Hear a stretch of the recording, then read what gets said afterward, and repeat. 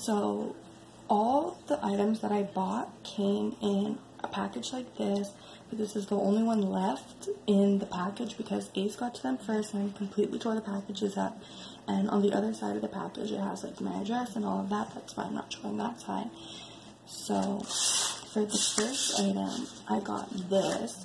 It's a light, and you just put it on the collar. It's supposed to light up in the dark. So, I'm gonna try that out. Then I got this one. It's just like a portable bottle, and it opens up. It's a little bit dirty because I've already taken it to the park, but it works pretty good.